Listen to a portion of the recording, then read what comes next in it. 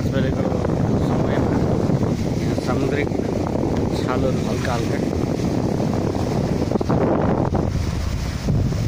र यहाँ यहाँको समयअनुसार बेलुका साँझमा अब यहाँ हावाहरूले यहाँको चाहिँ हावाहरूले पानीको छाप बढेको बिस्तारै बढेको अवस्था युएमा युएको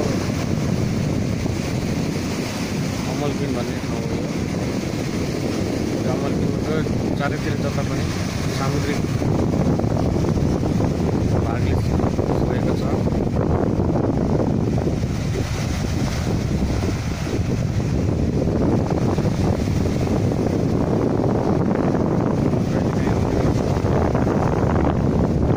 आएर यहाँ आएर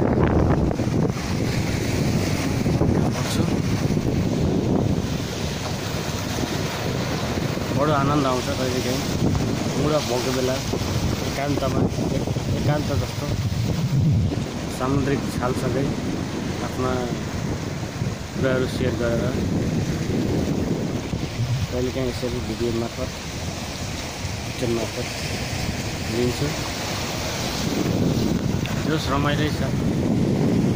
आनन्द आउँछ नेपालमा। भएका हाम्रा खोला नाला नदीनालाहरूको पानी पनि यिनै समुद्रमा आएर विलयन भएका छन्। पानीको धनी देश खोला नालाको धनी नेपाल। मान्दै आएका छन्। पानीको विश्वमा समुद्रमा समुद्रमा जति पनि पानी छ सायद नेपालको पानी पनि केही प्रति प्रतिशत यसमा उर्मिल भएको छ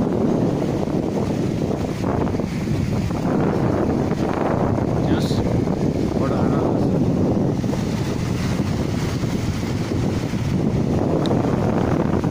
हरेक मान्छेहरू यो समुद्रको छेउमा आएर ड्युटी टाइम पछिको समयलाई यहीँ बिताउँछौँ बिचमा आउँछ रमाइलो गर्छ पिकनिक जस्तो गरेर आएर खानेकुराहरू ड्राई फ्रुटहरू लिएर आएर पकाएको खानाहरू ल्याएर समुद्रको छेउमा बसेर एकान्तमा बसेर खाने गर्छन् र मिठा मिठा गफ पनि गर्ने गर्छन्।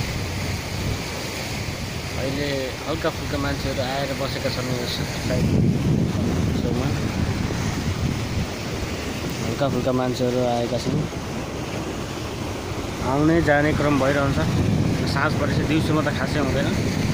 अब साँझ परेपछि बिस्तारै बिस्तारै यहाँ मान्छेहरू आउने क्रम जारी छ। आउँछन् बस्छन् रमाइलो गर्छन्। अन्त अब जाडो मौसम हल्का हल्का चिसो पनि छ।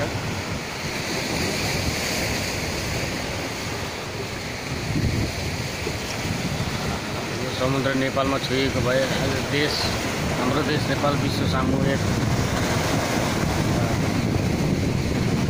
एक धनी कन्ट्रीमा गनिन्छ होला। सायद हाम्रो देश गरिब त छैन तैपनि हाम्रो देशका नेता भनाउँदाहरूले देशलाई गरिब बनाएका हुन् खोक्रा बनाएका हुन् देश धनी नै हो हाम्रो नेपाल।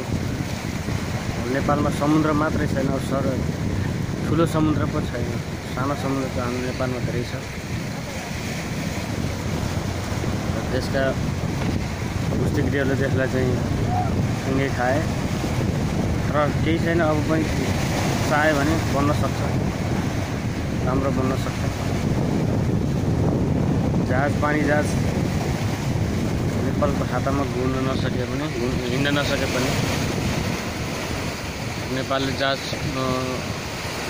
यस्तै समुद्रको सहायता लिएर अरू ठाउँ गुडाउन हिँडाउन सक्छ पानीमा हिँडाउन सक्छ तर देशका नेताहरू सुध्रिनु पऱ्यो पहिला।